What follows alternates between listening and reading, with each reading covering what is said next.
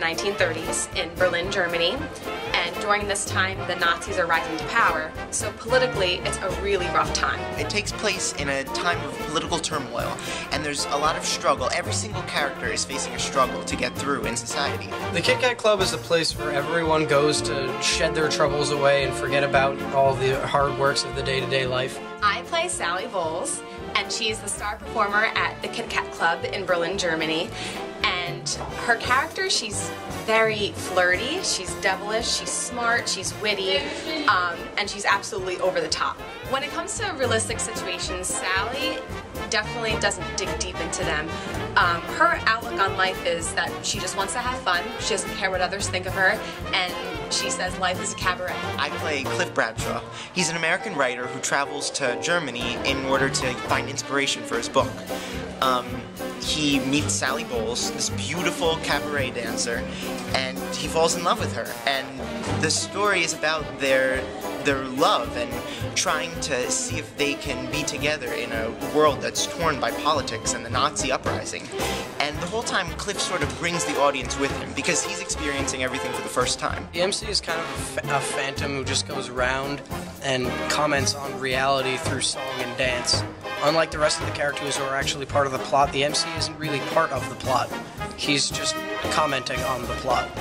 Everyone's doing their thing on stage during the scenes, and the MC is running around talking about it afterwards. An audience member can expect to have a lot of fun. There's a huge entertainment value. This show is very different from many of Woodbridge High School's past productions. Um, it's it's a lot darker and deeper, and it's just very true and honest. You know, this is these are things that really happen to real people, and although though it's very emotional and it's definitely a giant ride for the audience, but And it's also happy and trying to forget your troubles in the Kit Kat Club with me and the MC. So it's definitely very fun and very different, especially from last year's show. So if someone's looking for something a little different, then this is the show they definitely have to see. What's cool about a cabaret is that it doesn't just go through motions of regular musicals, and it also is his. It's a, it's it's a gigantic history lesson in one part. Cabaret definitely speaks a lot about going out there and discovering new things and exploring and finding yourself and it's important to have an open mind.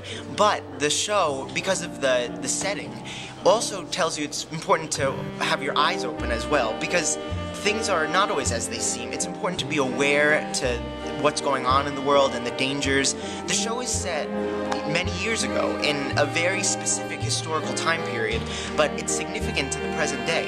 It deals with the hate and injustice in the world and the fact that everyone needs to be aware of that and conscious of the fact that that sort of thing exists and it's important to always do the right thing.